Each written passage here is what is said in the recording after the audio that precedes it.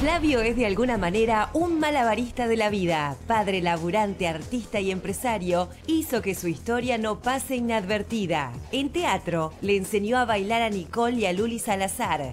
Llevó de la mano a Ingrid Bruck en su debut como vedette. Se metió de cabeza en los piletones del aquadance y reinventó el circo en este indomable siglo XXI. Flavio es un perfeccionista, pero también un calentón. Siempre trato de ser como buena gente, ¿viste? Soy jetón, porque digo las cosas, pero soy buena gente, trato de, de- de- de la gente que está conmigo, cuidarla. Le gusta estar en todos los detalles, aun cuando eso lo descomponga.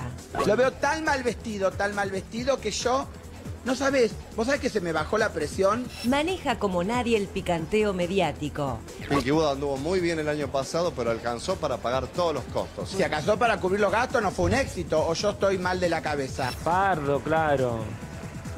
Que malla que playa. Que malla que ¿no? playa. No, no sé quién es. No, no, no lo conozco. Y en las cosas del querer se entrega pero no olvida.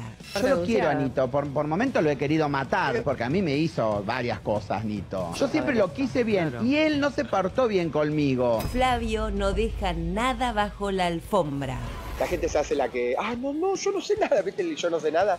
Con el yo no sé nada me la vienen poniendo hace muchos años a mí. No cree en la fidelidad. No sé si somos fieles las- los seres humanos. Me parece Pero que hay un ¿qué tiene mandato que que, no, decir? que no, no Claro, existe tal más cual. en los Que no seres es humanos. natural. Y recuerda con detalle quién lo empuja al mal camino. Viste que ahora me hice un poco alcohólico porque tomo vino blanco. Eso, yo ¿sabés quién me enseñó? Florencia de la B. Yo no tomaba. No tomaba, lo quiero aclarar acá. Hoy, Flavio Mendoza, el papá de Dionisio, se confiesa en intrusos, sin red, como en la esencia misma del circo. Estás en el 7.